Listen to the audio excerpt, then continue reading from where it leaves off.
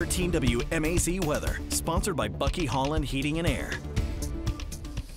The promise of sunshine this week at some point, huh, Ben? oh, wait a minute. There it is. Yes. Trying for it right now. No, you are see if we can see a few minutes of it, but not tomorrow. We should have it all back in play and Very nice. everything. So, yeah, better days ahead, and then maybe another weekend rain chance. Ah, good.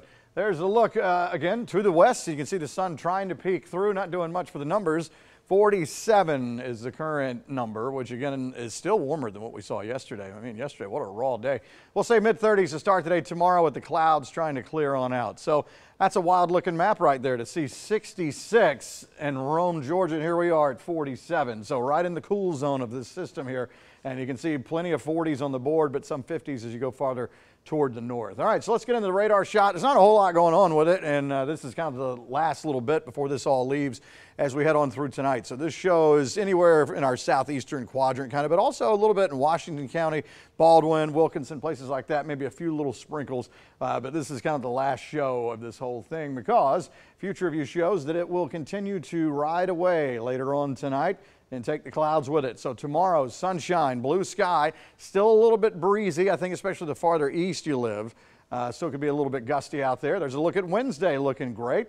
This will take us into Thursday where we'll call it partly cloudy. How about that? There's a look at the long range stuff. Thursday dry, Friday still dry.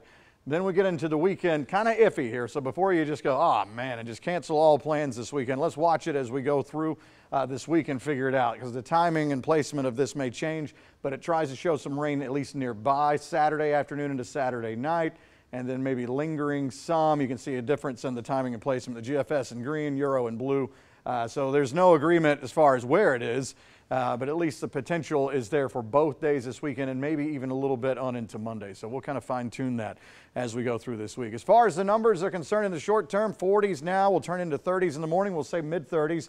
And then as we head into tomorrow afternoon, going to shoot for 60 and see how many places can hit that number. This will take us into Wednesday morning where we're looking at somewhere probably, you know, low 30s again. So still cold at night, but trying to warm up a little bit each day, but maybe only upper 50s by Wednesday. We'll see. Here's a look at the wind I was talking about. And notice how we don't totally give up on it here in our eastern counties. Still maybe a 20 plus mile an hour wind gust over the next day or so. Eventually, though, that will subside. So there is the old seven day, and it is, uh, well, it looks a lot better than it has for the past couple of days, that's for sure. Sunshine, maybe a few clouds later in the week and then penciled in for rain potential Saturday, Sunday, into Monday. And we'll get the timing down a little better as we get closer on in. Connor, what's up?